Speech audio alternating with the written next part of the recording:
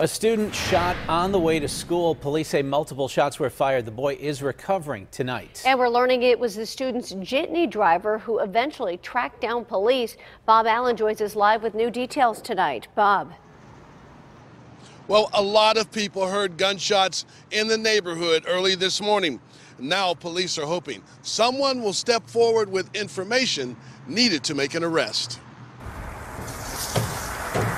Dave Jenkins starts early every morning, About seven, they're ready to go right on the rack. cooking a variety of meats on an outdoor grill for his barbecue restaurant at Braddock and Hamilton Avenues. Because it happened right there. He'll never forget what he saw about 30 feet away. Uh, well, it was a lot of gunshots, and they was over there, right there where the cone is. They were shooting. People was running and ducking, and police was here immediately. When it was over, a 17 year old male was lying on the ground with a gunshot wound in the back. We have a teenager, a 17 year old male, who is still in the hospital, last reported to be in critical condition after being shot this morning on Hamilton Avenue.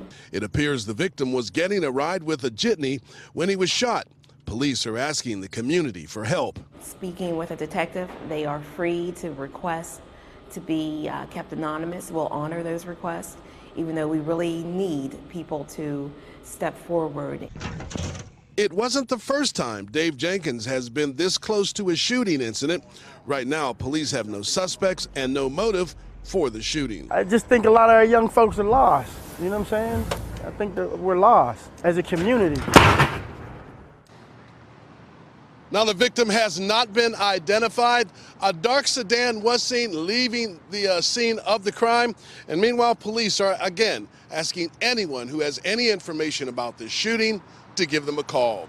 Reporting live, Bob Allen, KDKA TV News.